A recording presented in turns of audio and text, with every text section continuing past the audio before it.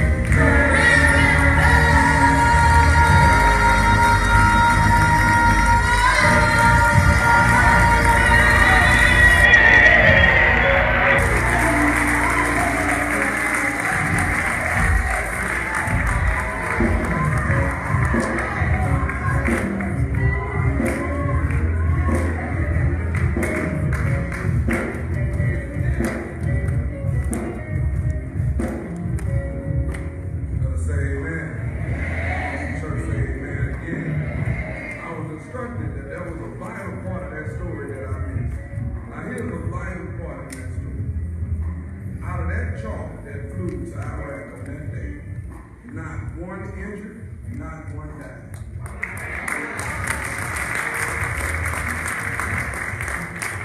At this point in time, I'm gonna ask Pastor Eric Gidry, pastor Zion, Zion Hill, excuse me, Zion Hill Baptist Church, would you please come and introduce?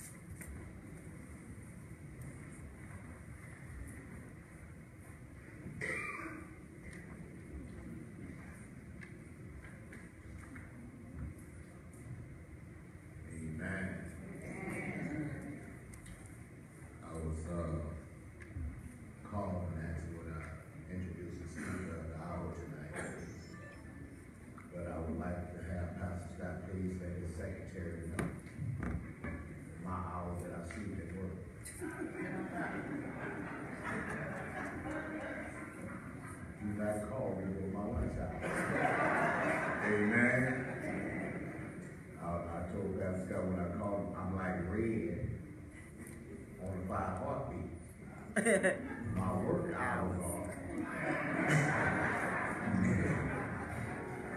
Amen. But it is my privilege today to introduce a man that I admire, that I, I look up to. Don't get to see him often. But when I, when I do, he'll drop nuggets on me, especially for a young pastor that can help you and encourage you along the way. And then I also told him this morning, on Sunday morning when I'm getting dressed to go to church, at 9.30 I will turn on channel 12. Amen. It, it's an encouraging word that you give not only to Cathedral Faith, but to this community. And we appreciate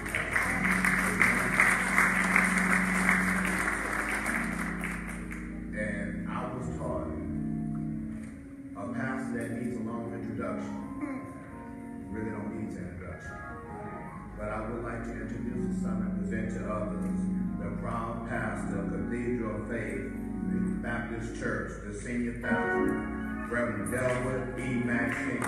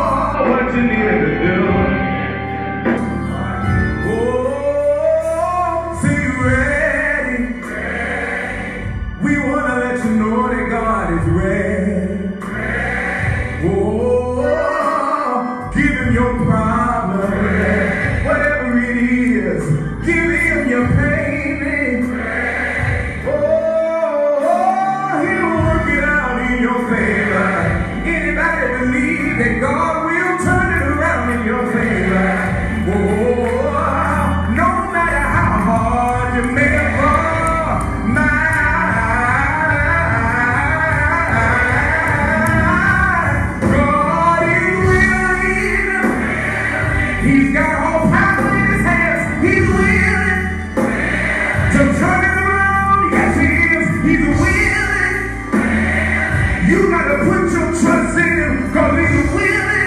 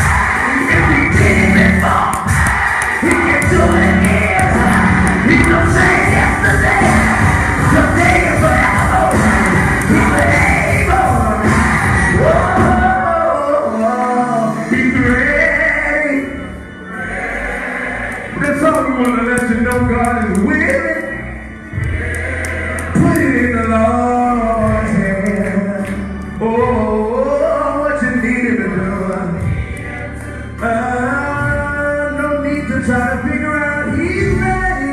Yeah. Oh,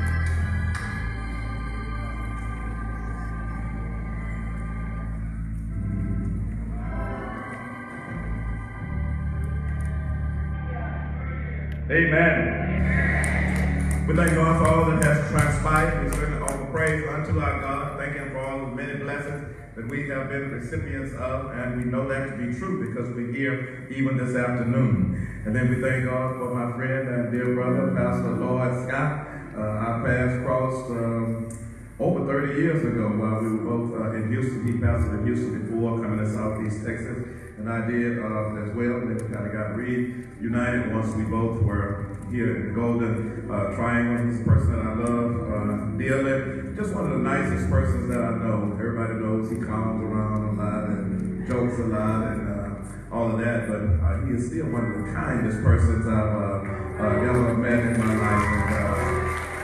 Uh, he will always do for anybody whatever he is able to do. Goes without saying he's a great uh, preacher, just loves um, putting sermons together, studying the Word of God. And then his wife, uh, Sister Hope, uh, we certainly thank God for her as well and for, again, our paths having crossed over all these years. And so we celebrate with you today God's goodness in your life, the life of your family, and in the life of this church as well. We certainly uh, salute all of the other pastors and uh, ministers who are here today. I want to thank uh, Pastor Gidry for those kind words of uh, introduction, and to all the members of the Eastern Star Church family, all the members of Cathedral, and the others who are sharing as guests. We thank God for each of you uh, as well. Like for the lovely Alpha Denise Mack to stand, please, just so you all know who she is. And uh, that's my wife, and church as well. And so we thank God for her being here. My mother-in-law is here as well, Sister Mamie Garden. I'd like her to stand also.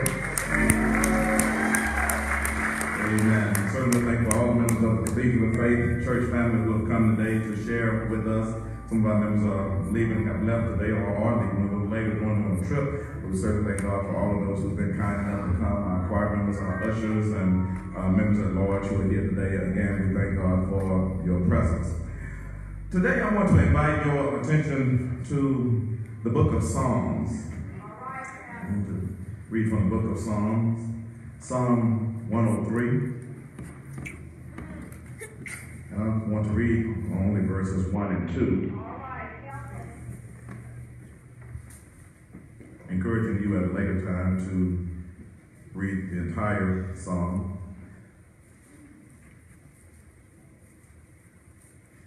The Psalm 103, verses 1 and 2.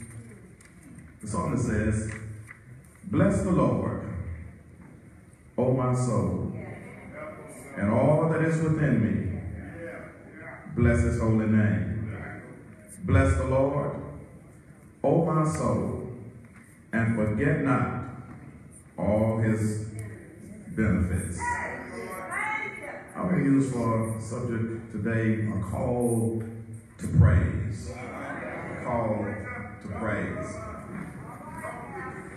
You know, one of the things that like this. Is something that we ought to do. The scripture is very clear in the book of Hebrews when it says unto us, forsake not the assembling of yourselves together, as a matter of some is, but exhorting one another, and all the more as you see the latter days approaching. There are individuals who believe that they do not need to gather with other Christians. They don't believe they need to go down to the church house. They believe that they can have church at home all by themselves. But if they would just, while they're home by themselves, read the scripture, the scripture would tell them you need to go to church sometimes. Because all of us need to be a part of the gathering of the saints. And then not only that, but also the Bible teaches us that every believer has at least one spiritual gift. But the Bible also says in 1 Corinthians 12 and 7 that the gifts are given to profit the body with all. The gift that God gave to you as a Christian, He did not give it to you for you. He gave it to you for all the rest of us, so that everybody could put their gifts together, then the body of Christ would work together to do the work of Jesus Christ. And so there are so many scriptures that if we would read them, they would readily help us to see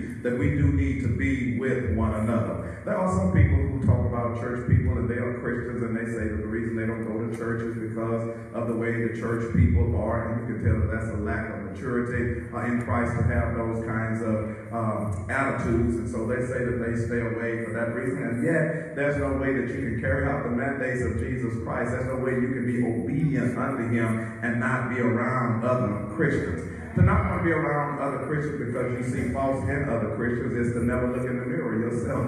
Because all it would take is just one peek. You would even have to stay very long to find out that not only do other Christians have issues, but you have issues too. And when you start talking about with the church, you got to include yourself because you are a part of the church. But when you get past all of that, the Lord still wants us to get together. Now, I mean, it's interesting when we get together, one of the things that most of our churches have is we have somebody who leads devotion. We have somebody who typically will lead the praise service. We have somebody who will from time to time maybe stand like I am now, somebody who has a melodious voice, somebody who is very charismatic, and they might also encourage us and push us to enter more deeply into worship and into praise. Nothing is wrong with that. Sunday morning, many times we have our cheerleaders and we come in cold, I guess, and they try to fire us up and get us ready to go. And so we even start off our services sometimes saying, we're opening up with a call to praise and worship. That means everybody get up, everybody sing along with us because we're calling you, we're trying to get you involved in praise and worship. And I think all that's well and good also. But I was just looking uh, at this particular song once again, and I see that here is a call to praise. Here's a call, perhaps maybe to praise and worship, but definitely a call to praise. But in this particular call to praise, it is not one person talking to a multitude of people. This is very interesting because in this particular song, it's a person talking to himself. Here's a person getting ready to have a praise service, and not one person gonna be present. Can you imagine what that would be like for you if you had a praise service and you were the only one there? Can you imagine what it would be like today if you had come in this place and you said, we're to have a praise service? And they said, well, all the other people, nobody else is coming, it's just going to be me. What kind of praise service would it be if it was just you and God? That's what's going on right here with the psalmist. The psalmist is thinking about his own personal relationship with Jesus Christ. I'm just suggesting sometimes you can get so busy looking at everybody else till you forget that you have a responsibility to praise God for yourself. Not what everybody else said to him, not how everybody else adored him and worshiped him, not how anybody else bragged on him, but what did you do while you were in the worship service? So that when you're in worship and when you're in praise all by yourself, you and I ought to analyze that and ask ourselves, outside of the church gathering, when was the last time you told God thank you out loud with your mouth? I know you said hallelujah with the song, but when was the last time you said hallelujah didn't have a hammer three organ, a B3 organ playing?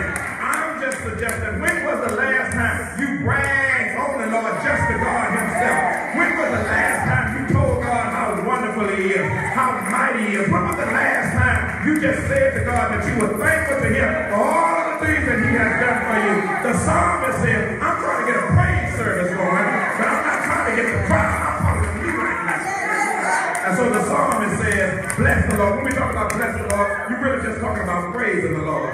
Because there's really nothing you can give God other than praise. Sometimes we say giving honor to God, and I understand the semantics, what we mean by that, but you really can't really give honor to God because all the honor God needs, God really already has. You can't honor the fact that God is honorable, great, grand, and beyond our description. You can't acknowledge the glory of God, but praise is one of the few things that you can give to God. Give God praise. And so when you say bless, that's what we mean. And so sometimes we will find ourselves reading the scriptures about blessing the Lord and talking about blessing the Lord, but sometimes we may not stop to really ask ourselves, what do we mean by that? What do we mean by blessing the Lord? A lot of times we will maybe say to our children, I'm going to a praise service. My children, what do you mean by that? I know what you meant when you said going to a football game. I know what you meant when you said you were going to play baseball. I know what you meant when you said you were going to bowl. And I know what you meant when you were going to play bridge. Oh, no, no, but you said now you're going to praise. So what do you mean by that? I'm sure some of our children, if they hear us say we're going to praise service midway through service, they probably want to ask you, Mama, we doing it yet? Because so far we just been sitting here looking around at other folks. So I'm just wondering, are we doing what we came to do?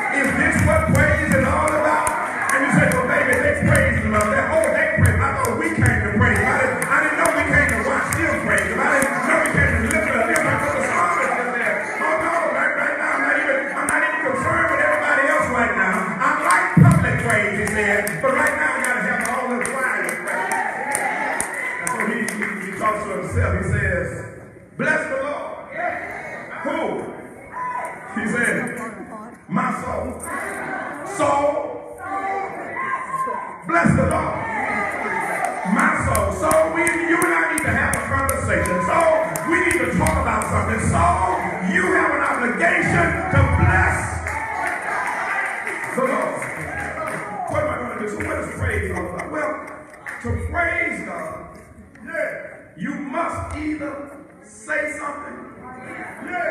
Or do something.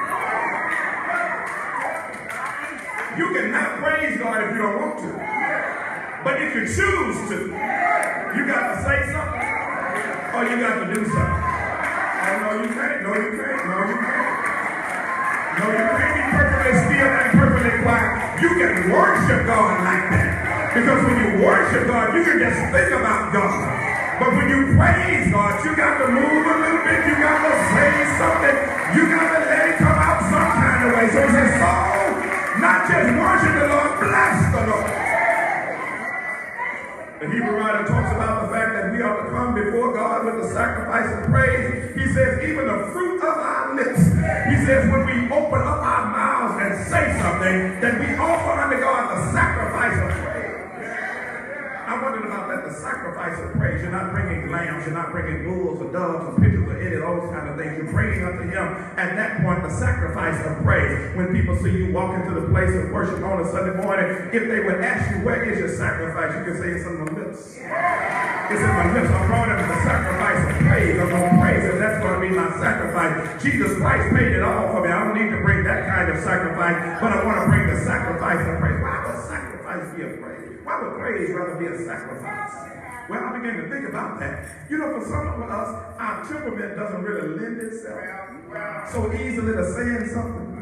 And sometimes you can be around other people, and maybe even by yourself, but you have such an image of yourself that you can't go against your own image and say something.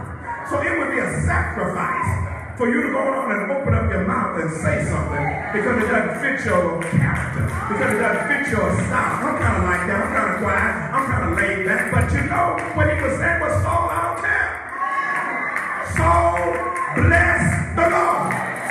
Soul, you have an obligation to say something to God, to bless his name. You have an obligation to brag on God. Because that's what praise is really all about. It's about us praising and bragging on God. So, bless the Lord.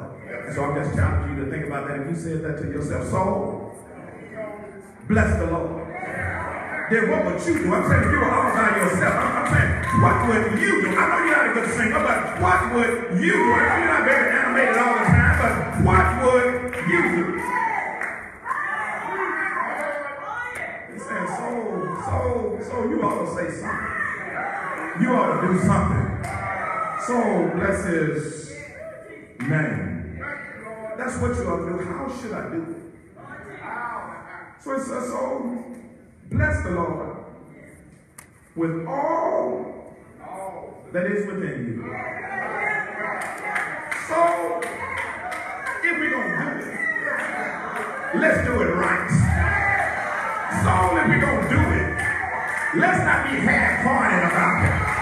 So if you're going to bless the Lord, bless him more than you bless LeBron. So if you're going to bless the Lord, bless him more than you blessing Texas football team. So, if you're going to bless the Lord, bless him more than you bless the local sports team. So, if you're going to bless the Lord, don't just give him a little bit. So, if you're going to bless the Lord, do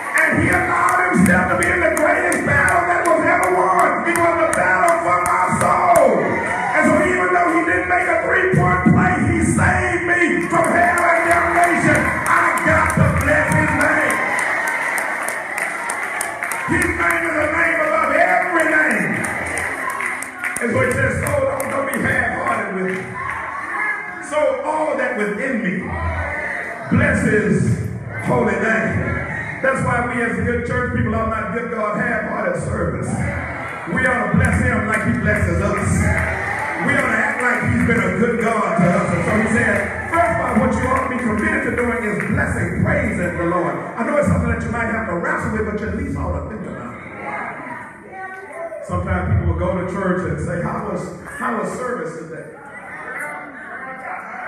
Maybe you ought to say, my part was good. I don't know how everybody but my part was good. the part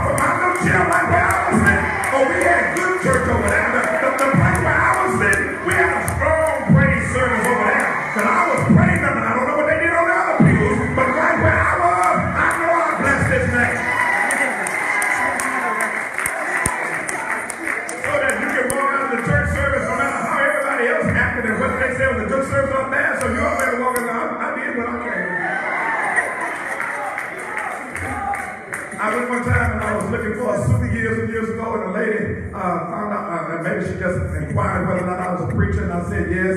And she said, there's another pastor that can come to me. And she said, whenever he come get his suit, she said he makes all kind of moves to make sure. And so he was just kind of praise testing his clothes. He didn't want to wear them the church. He couldn't praise God in. He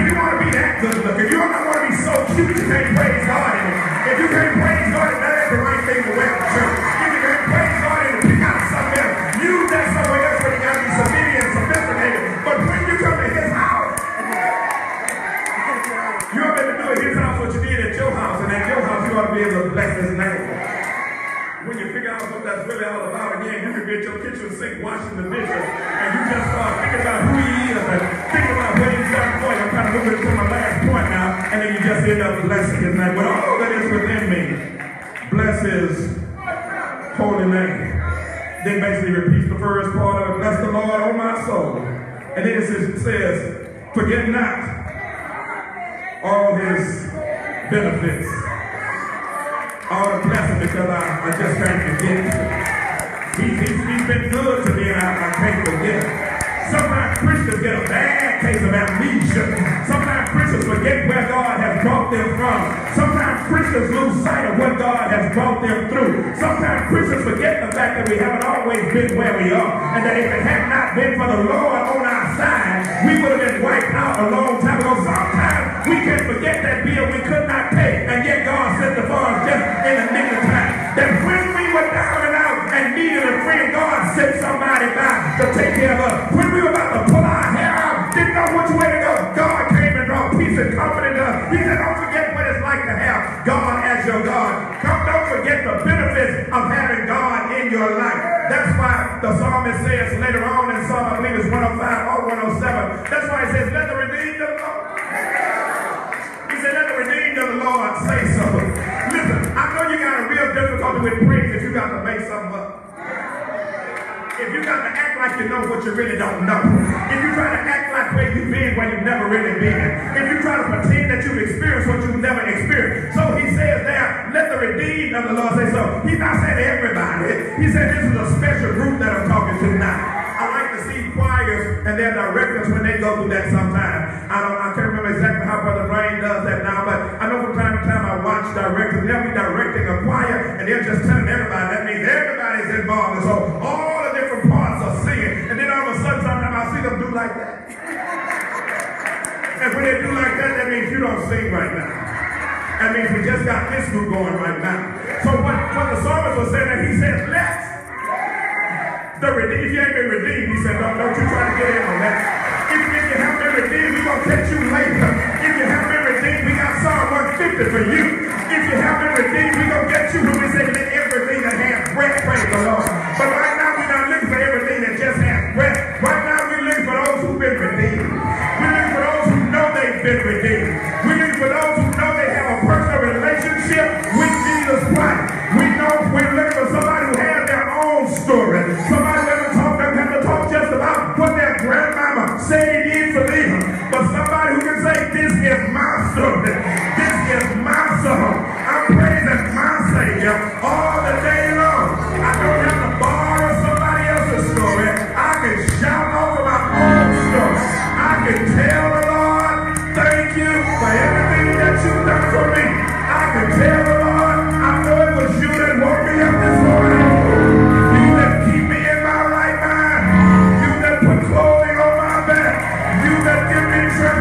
transportation. You that protect me while I slumber and sleep. I don't have any problem acknowledging that you are my God. And I like just bragging on you. I like just telling folk how awesome you are. I like telling folk about your characteristics. I like telling folk that you're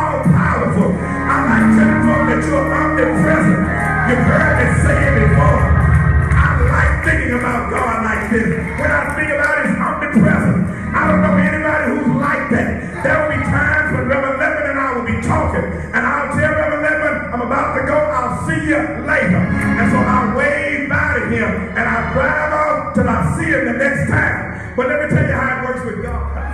Because he's omnipresent. He's everywhere all the time. So I can be there talking with God. And then when I talk with God, I can get in my car and drive out. God will be where I left.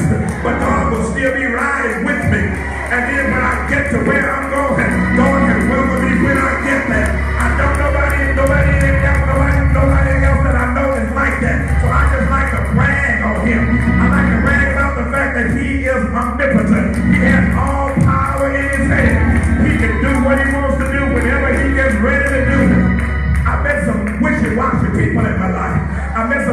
vacillate. You never know where they're going to be.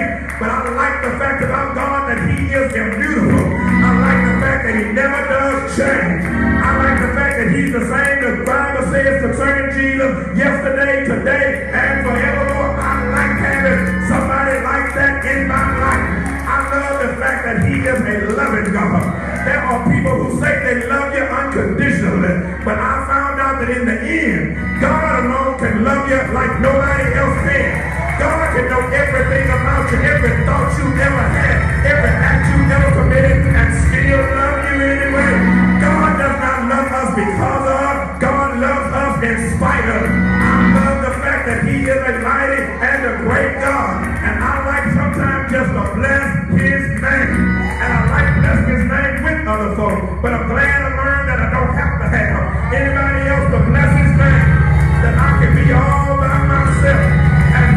just think about